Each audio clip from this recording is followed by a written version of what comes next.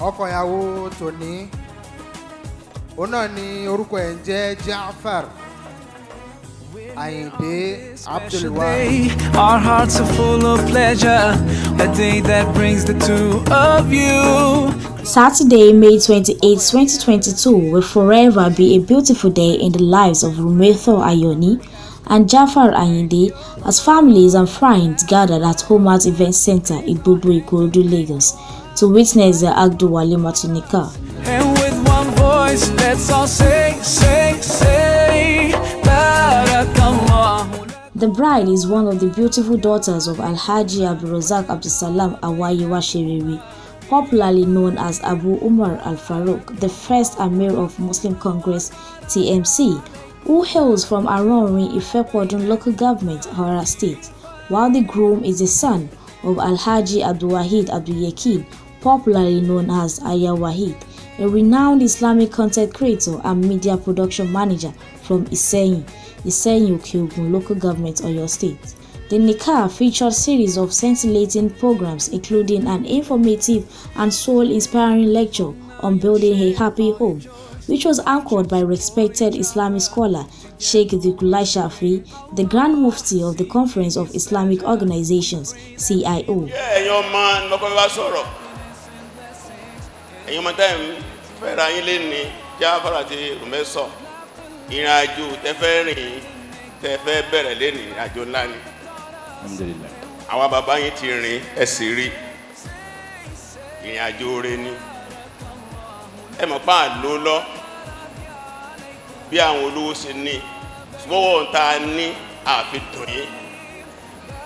Nípa pé ẹgbẹ́kọ̀ ẹgbórí dúró lọ́jọ́ òní fi yẹ yín inú yín ń dùn lóòótọ́ ṣùgbọ́n bá wá sí lọ́jọ́ òní fún yín ni pé another responsibility mọ̀síwìlíyà ẹ̀ ń gba ojúṣe. Ẹ̀ ń gbójúṣe. Rùmẹ́tọ̀ Maisọ́ àti Jaafar Jaafar iṣẹ́ la fẹ́ gbélé yín lọ́wọ́ o. Bọ́ọ̀ bá jẹ́ ń sọkọ ìyàwó jọ náà ń ṣe ìyàwó ọkọ ẹ̀ lọ sí ṣe ọlọ́run sì fún yín ṣe. àmín It was followed by solemnization of two families to become one, and it was conducted by another renowned Islamic scholar, Sheikh Bilal Shitu.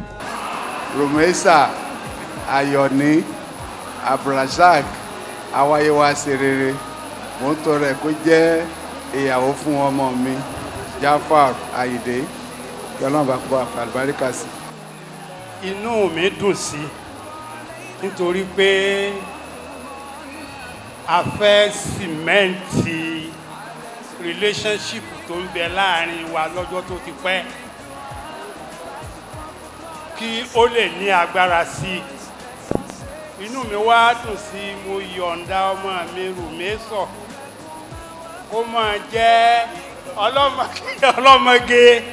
Kó máa jẹ́ ìyàwó Jafar Àyìndé kó sì fi ọlọ́mọge náà kó fi ṣe aya kí ọlọ́run ọba kó fi àlùbáríkà sí. Rains of prayers and advices were poured on the newest couple, who both attended the illustrious Vanguard Academy and studied agricultural science from University of Ilorin and Osho State University respectively.